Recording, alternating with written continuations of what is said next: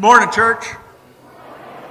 Good to see everybody out this day, a special day, uh, blessing of the backpack, back to school day, and we're so glad to see you here.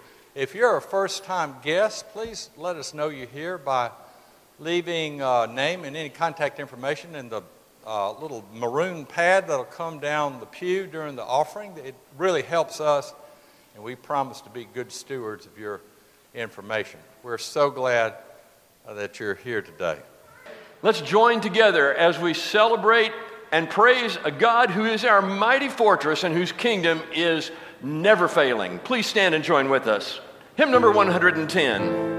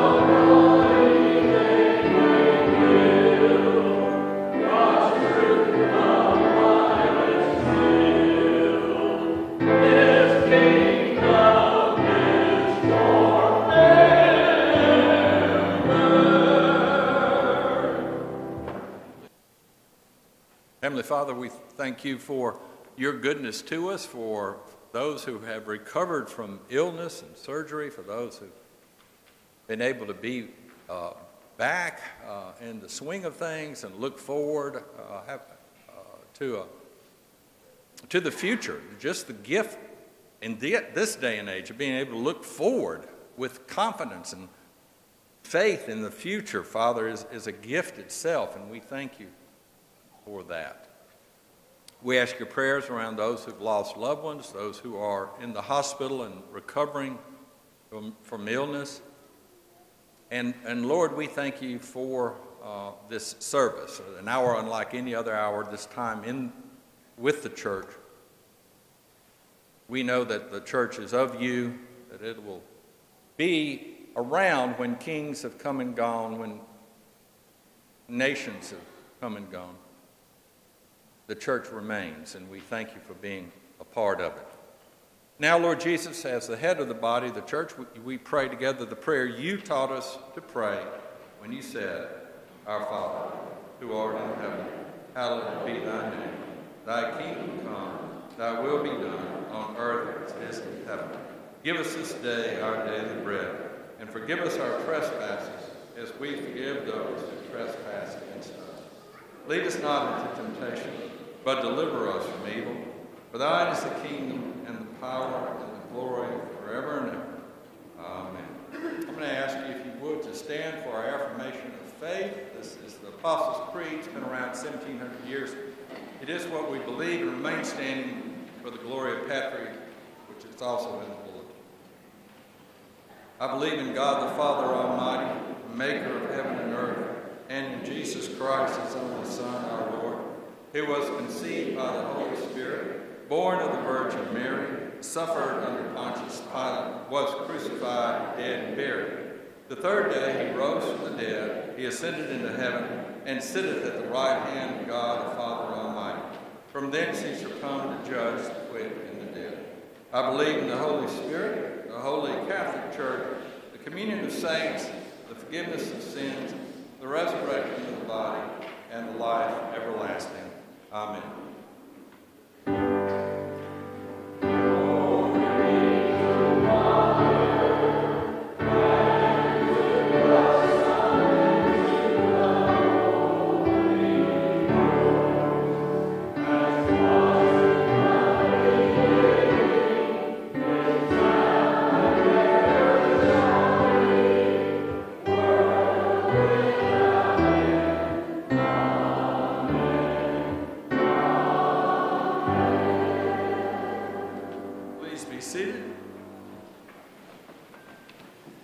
Are so grateful for uh, our children, our children's ministry that encompasses everything from little blessings to wonderful Wednesday to our nursery and on and on and on.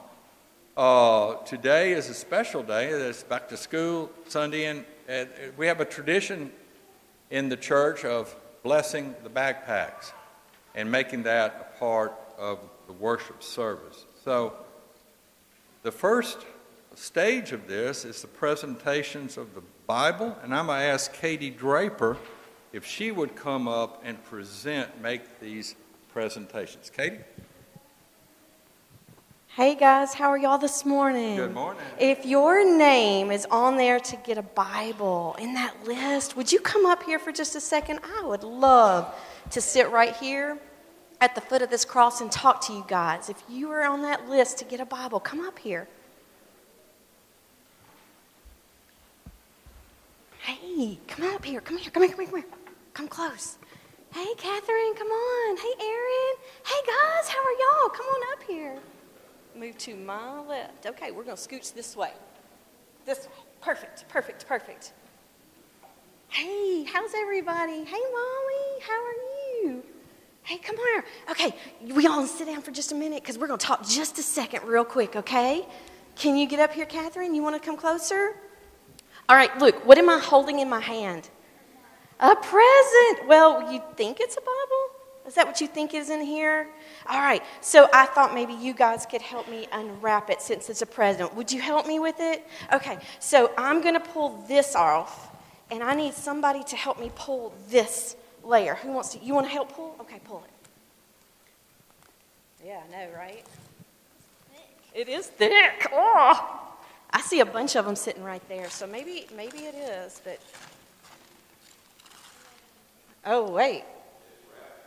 Oh my goodness, that is that's not a Bible, but it is kind of brown and it's kind of plain, right? Is the Bible a really old book? Has it got lots of old history stories in it? The Bible goes back way before Miss Katie was even born. It goes back way before your mommies and daddies were born and your grandparents were born. The Bible is a very old book. So maybe it still is a Bible, but we know it's an old one, all right? Hey, Molly, will you help me pull on this one? Here, help me pull this right here. Rip into it, girl. Yeah. Oh, wait. Huh. Well, it's not a Bible, but look, what's that? Do you know what those are? Do you know what those are? Those are comics. When I was a little girl, I used to love to get the newspaper, and it was the very first thing I read because usually something funny or good was going to happen. Have y'all ever read a newspaper or looked inside for stories and adventures? The Bible is full of heroes and adventures and stories. So many things happen within the Bible that tell us who we need to be and help our character. So while Garfield may not always get the lasagna. In the Bible, we can always find truths and gifts and hope within there, right? So we know it's old, and we know it has stories and truth and history in it, right? And news. Let's see if we unwrap this, will we get to a Bible? Aaron, you want to help me unwrap? You want to pull on this one?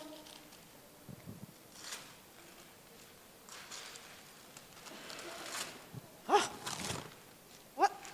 It's still not a Bible yet. Oh my goodness, what are those? What's that? Can you tell what that is?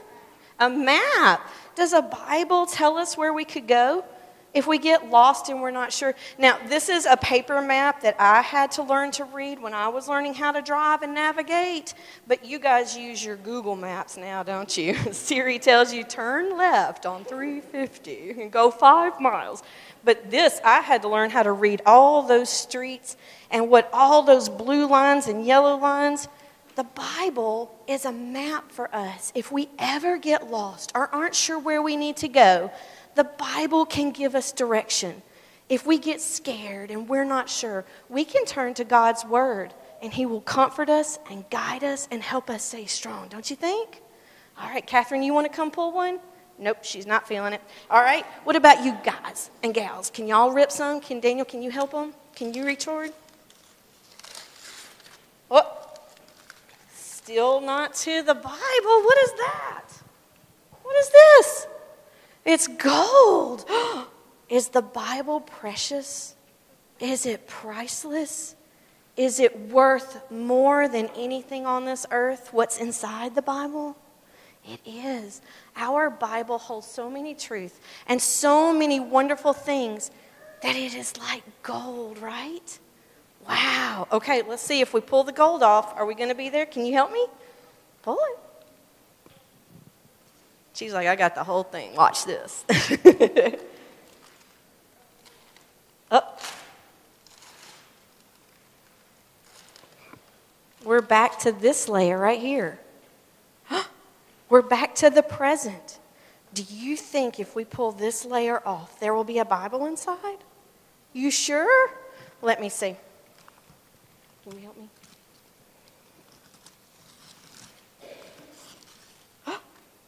Look at that. Is it a Bible? It is. Do you know whose Bible this is?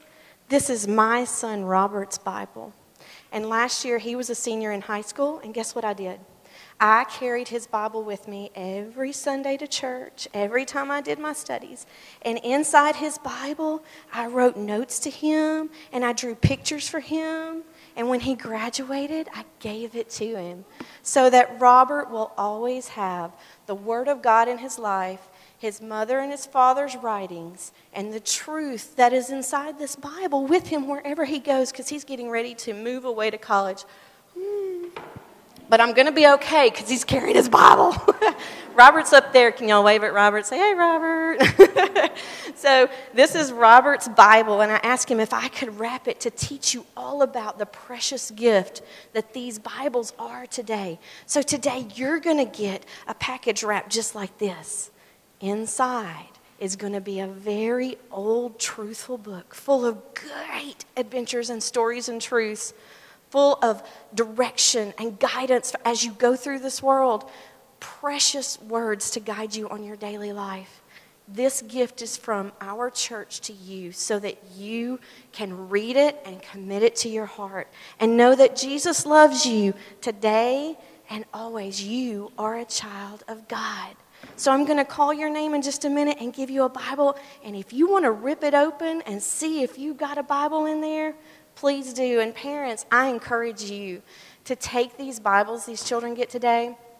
Write your favorite stories in there. Write your favorite verses so that these children always have your words and your truths written in their Bible somewhere that they can draw on when they need strength and guidance and wisdom. So take your time to do that, please. I ask you to do it. It's one of the most precious things you can do for your children. And thank you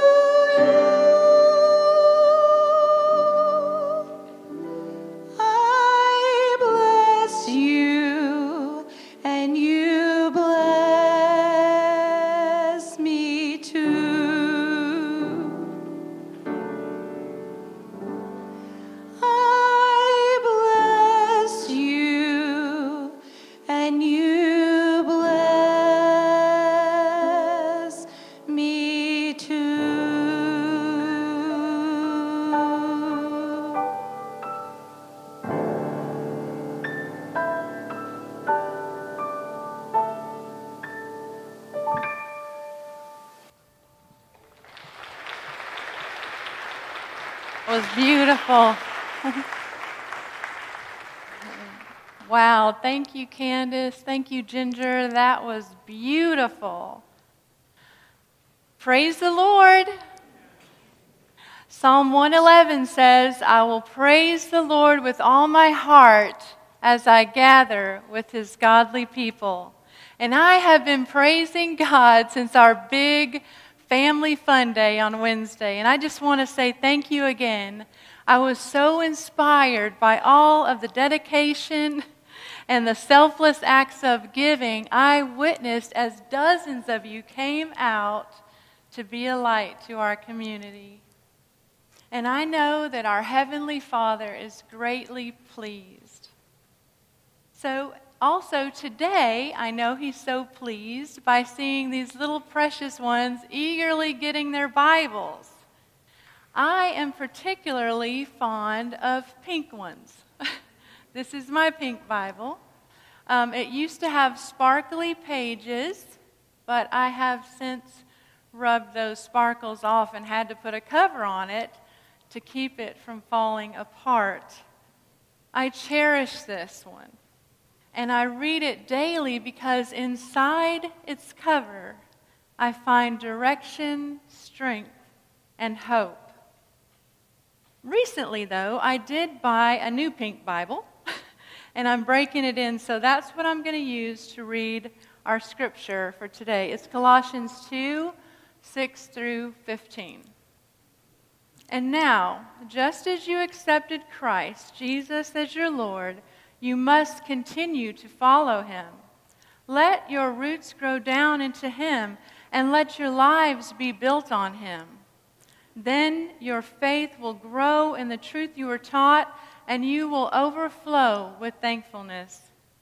Don't let anyone capture you with empty philosophies and high sounding nonsense that come from human thinking and from the spiritual powers of this world rather than from Christ.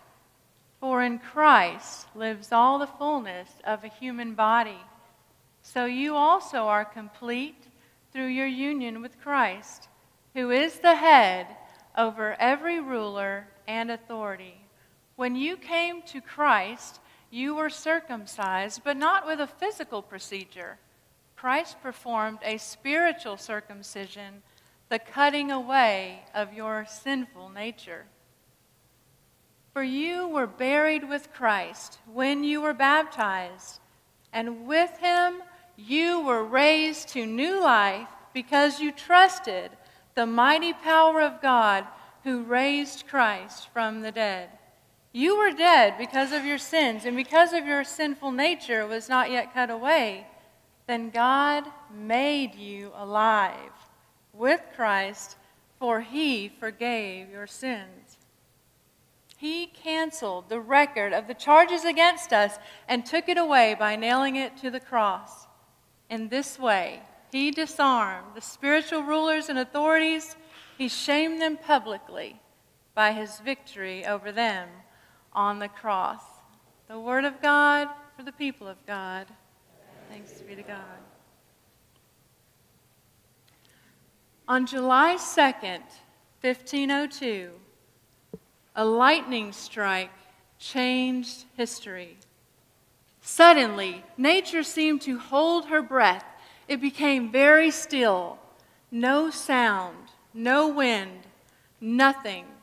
The man stood still, aware of the odd metallic smell, a tingling in the air, and the threatening of a rapid approach of a storm.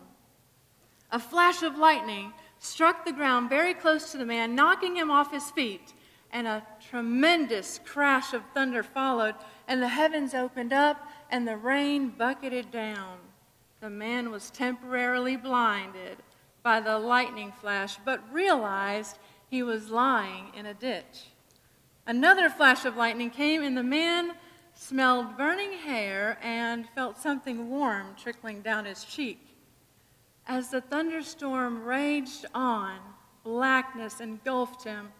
After a while, he opened his eyes and started to crawl out of the ditch over the rain soaked earth and collapsed face up to the clouds.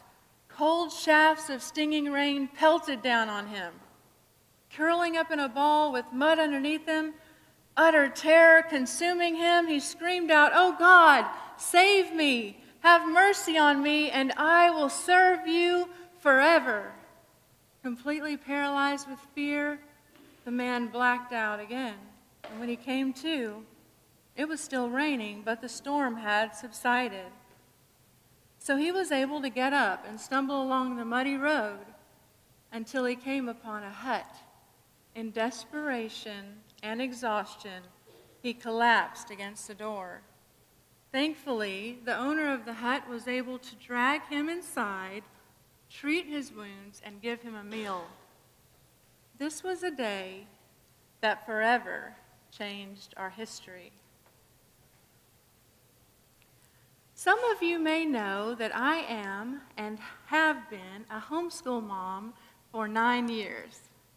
I used a certain curriculum to teach my little ones to read. In that curriculum, the writer instructs the teacher to explain to her students that the reason they must learn to read is so that they can read the Bible for themselves. Reading the Bible will give us all the directions and instructions we need to please God and to be successful. The curriculum I use for my fourth grade lessons includes a book called Hero Tales as part of its reading practice. And in this book, we read about Christian heroes such as Martin Luther. He lived during the early 1500s in Germany. Martin Luther, who had narrowly escaped being struck by lightning, knew that he had been spared for a purpose. So, shortly after healing from the effects of the thunderstorm, Martin kept his promise to God and he entered into service as a monk. He was then ordained as a priest and later became a professor at the University of Wittenberg. Still, Luther felt troubled. He was troubled by his sins. He had been plagued with feelings of guilt most of his life, and he never seemed to feel that he worked hard enough to serve God or was good enough to earn God's forgiveness. Have you ever experienced a mental attack from the enemy trying to shame you or make you feel guilty over a past sin with the destructive agenda being to make you feel like you were never saved, like God could not possibly forgive you? Well, Martin Luther had those same nagging experiences. He felt very troubled by his sins and that God was unhappy with him. And the harder Luther worked to be good, the worse he felt. One biography stated that Luther felt hopeless until he read Romans 1 17. The just shall live by faith. Up until he read that scripture for himself, he had not realized that it was impossible to earn God's favor. God's love, grace, and favor was a gift that you could only receive by faith. After Martin's accepted God's gift, his first question was, Why didn't I learn about this in my church? You see, friends, in the time and place that Luther lived, the Bible, which was only available in Latin, could only be read by the most educated religious leaders. The common people could not read Latin, and unfortunately, most church leaders at that time took advantage of the people's ignorance of the scriptures, and they would translate the word penance in place of repentance. So the church leaders taught the people that they had to buy indulgences or written pardons of sin or do other acts of service to earn forgiveness. This caused money to be brought into the church treasury, and the religious leaders were afraid that if the people didn't pay penance, the church would go broke and they would lose their power and control. But when Martin Luther discovered these treacherous acts of those trusted leaders, he could not be silent. He was angry at the church officials who tried to fool people by telling them that they had to pay for forgiveness that this little piece of paper could honestly forgive their sins, past, present, and even future. Luther spoke up about this deliberate mistranslation of the scriptures, and he consequently made enemies out of the religious leaders. The evil practices of those religious leaders were exposed by Martin as he nailed that list of 95 objections to the church door, and he wrote books and pamphlets telling the people about church wrongdoings. He even translated the New Testament into German so that the common people could read it. Now, why did I tell you all that? Well, I wanted you to know from just one story how very important it is for us to be able to read God's Word for ourselves. I want us to realize how amazingly blessed we are to have seven or eight Bibles lying around our house or a hundred translations at our fingertip with our phone in the YouVersion app. Does anyone have that? Thank you. So I just want you to know that the Bible is relevant for us today inside of it, we find our true identity, our purpose for being here, and how to fulfill that purpose. As the body of Christ here in this church building, we must strive to mature in our Christian faith and progress in our spiritual walk. We must also discern our identity as children of God and one of the ways to do that is by reading God's Word. As God's children, it is imperative that we, one, allow the Scriptures to be the foundation for our identity.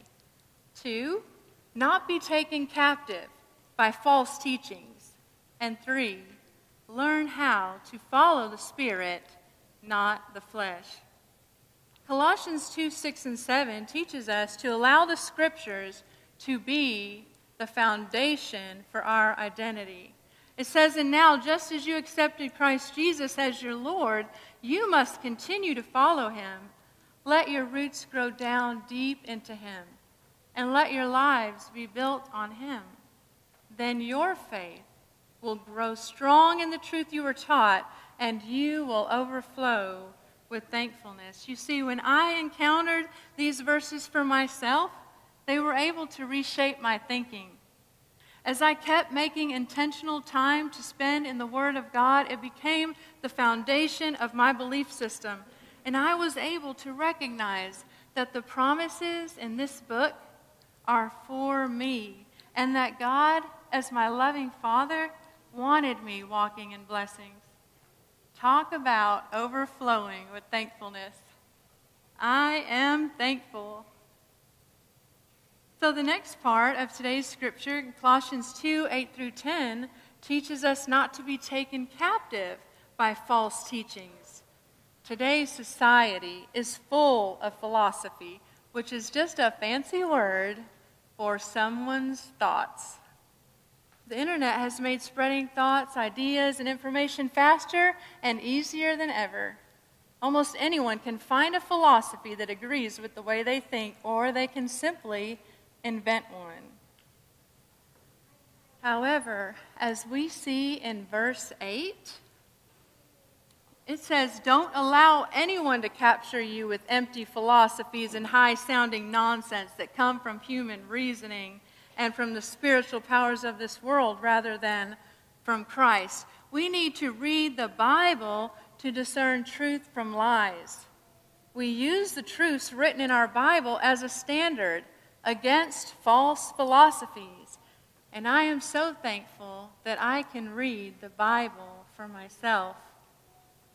Colossians 2:12 teaches us that we are made alive with Christ, which gives us the ability to follow the Spirit and not our flesh. It says, "For you were buried with Christ when you were baptized, and with him you were raised to new life because you trusted the almighty power of God who raised Christ from the dead.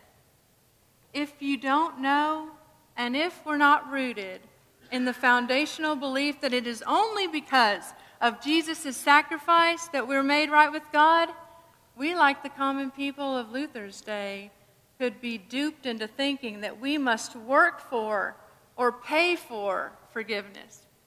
As we read scriptures today and every day about our identity as dearly loved children, we recognize that our worth, our value, and our significance is all based on who we are and not on what we do. And all of this is found inside the pages of the Bible. And reading it has changed my life for the better because it has reshaped my thinking. What if we didn't have daring and determined individuals like Martin Luther in our Christian heritage? What if that lightning strike had ended the young Luther's life early? And what if he was unable to read the Bible for himself, be convicted about the truth, and then brave enough to share that truth with others? Again, I must say how amazingly blessed we are to have God's Word translated into so many translations and so many versions that there is no way we cannot understand it. No way unless we just simply refuse to read it. So I'm standing up here today with my precious Bible, and I'm trying to convey to you how freeing it is to be able to open up to Colossians 2:14 even on my worst day and read he canceled the record of the charges against us and took it away by nailing it to the cross. He is not mad at us. He loves us and He has made a way for us. Every week in this sanctuary and in multiple Sunday school classes, we hear from leaders what they have read personally in their own Bibles and how that word has changed their life. Hearing that inspires me to want to dig in to the Bible for myself and see what God has for me. Much like those little girls and boys who were unwrapping their Bible as soon as they got back to their seat. They're so excited. What does God have in there just for me? It reminds me a little of if I had a pan of Miss Loretta's poppy seed chicken casserole up here, and I was going on and on about how yummy it is, you would be out there with your mouth watering, wanting to take a bite of it for yourself, instead of just taking my word for it. So I'm challenging us today to make one step closer to God. If you currently do not read your Bible at all or very seldom, be intentional starting today. Read it. And if you have a translation that reads kind of like those in Luther's era, well, just buy a modern one. I personally use the New Living Translation for my daily reading. Well, I also printed a daily Bible reading bookmark that will help us read through the Gospels in 90 days. And they're going to be at the back and at the other door, and there's some up here on the altar. It starts with John chapter 1 today. So if you'd like to start that reading plan with me, I would be so very thrilled. Um, now, also, if you already do read your Bible every day, I just encourage you to start increasing the time. You will be so glad you did. Thank you for listening to me. May God bless you infinitely. The scripture that Elizabeth read today mentions Jesus Christ and the things that he has done for us no less than a dozen times. And in that central passage, it reminds us who we are, whose we are, and who our Father is. That's pretty important That's stuff. important stuff.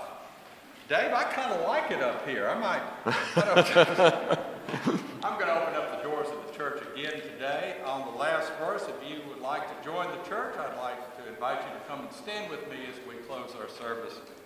What a friend. What an amazing friend we have in Jesus. Please join us.